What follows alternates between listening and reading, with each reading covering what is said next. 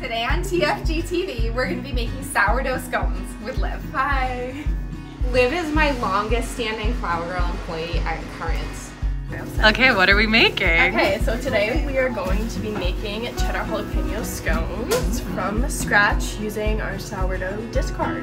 And since we use the same exact base recipe for our savory scones and our sweet scones, I'm going to show you how you can make white chocolate raspberry scones from the same exact recipe.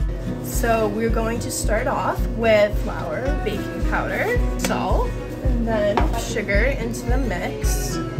And then in a separate bowl, we are going to put our wet mixture, which consists of our buttermilk, our sourdough starter, or discard, and then our eggs.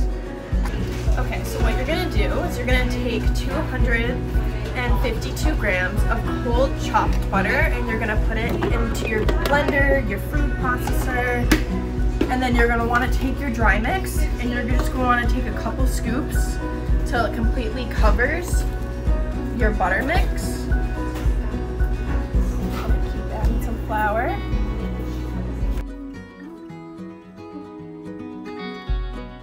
Check that your butter has broken down into pea-sized pieces and add the flour and butter mixture back into your bowl. Then we're gonna add your wet mix into the dry mix, and at this point you can go either sweet or savory, or you can split it and do both. For our sweet scone, I'm adding white chocolate chips and frozen raspberries. We use frozen so that they don't get too mushy while we're mixing them. For our savory scone, I'm adding fresh chopped jalapenos and shredded cheddar cheese. When they're all mixed, we roll out the dough so it's about an inch thick and we use a pastry cutter to punch out the scones. Once they're punched, we lay the scones on a sheet pan and freeze them at least overnight. Then, when they're ready to bake them in the morning, we just pop them out of the freezer, dress them up for the oven,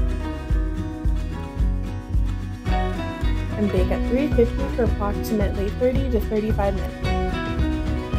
And voila! Delicious fresh sourdough scones.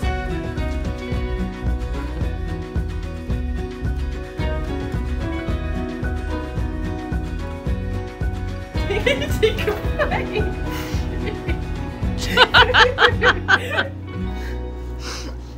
really good. That was really good. I like the jalapenos.